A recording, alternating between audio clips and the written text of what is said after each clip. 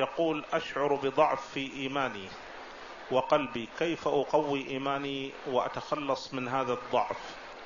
نعم كل مسلم لا يزكي نفسه ويعتبر نفسه ناقص ومقصر.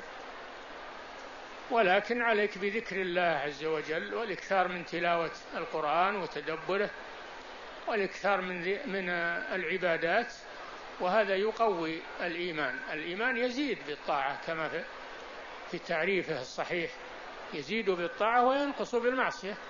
فعليك أن تكثر من الطاعات وبذلك يزيد الإيمان. قال تعالى الذين إذا ذكر الله وجلت قلوبهم وإذا تليت عليهم آياته زادتهم إيمانا. وإذا ما أنزلت سورة آه، وإذا ما أنزلت سورة فمنهم من يقول أيكم زادته هذه إيمانا؟ فأما الذين آمنوا فزادتهم إيمانا. وهم يستبشرون.